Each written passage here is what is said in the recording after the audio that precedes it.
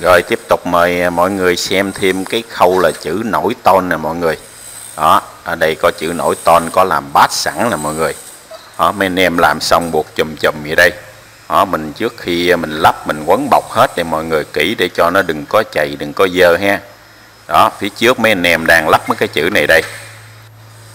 Đó, do mình à, qua hơi trễ nên mấy cái chữ lớn mấy anh em lắp rồi. Bây giờ còn một số đây nè cái chữ này là bằng ton. Mình ton mình làm xong mình sơn mọi người.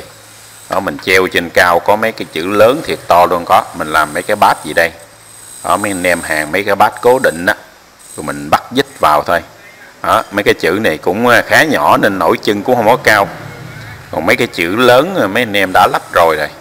Mình quay cái này cho mọi người tham khảo thôi, để mình đi vòng vòng vòng ra cái à, phía trước rồi mình quay cho mọi người xem đây đây là mấy con vít, mấy anh em sơn nên cho nó tiệp màu với chữ nổi nè mọi người.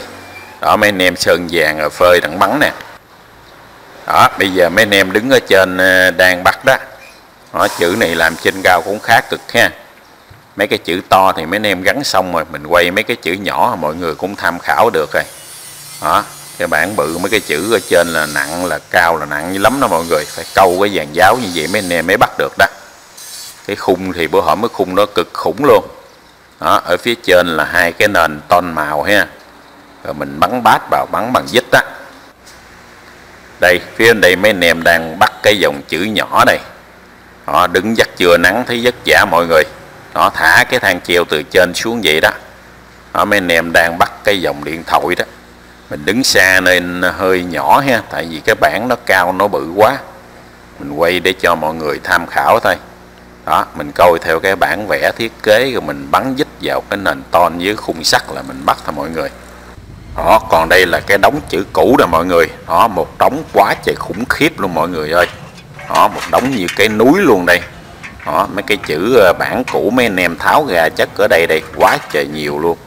Đó quá trời nhiều tiền hả mọi người? Bao nhiêu đây là làm là te tu luôn đó. Chữ nào chữ nấy còn bự bự không đó, đó mấy cái chữ này để xài là thiên thu luôn nó còn mới về mà người ta đã bỏ đó mọi người để đổi cái mẫu mới đó. Đó thấy mấy con số không? To to bự bự này không đây? Đó, cái này sơn lợi là bén ngót luôn nhưng mà phía công ty họ thay đổi theo cái mẫu mới hết rồi mọi người. Đó, thấy quá trời nhiều không? Đó, đây bây giờ cái xe hàng của bên qua sen họ dê vô đây. Đó, phía dưới xe hàng có một con kỳ luôn nè mọi người giữ dằn không? Đó, mình quay cho mọi người xem cho vui nè rồi để mình đi vòng vòng mình kiếm gì mình quay tiếp.